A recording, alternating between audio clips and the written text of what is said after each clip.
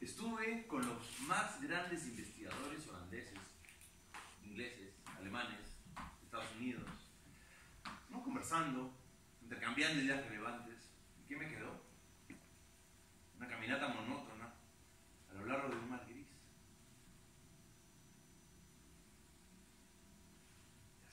¿Se puede saber por qué nos hablas de esto de repente? Es un eco a lo que acaba de decir Enrique. Me pregunto por la importancia de las cosas, lo que tiene interés y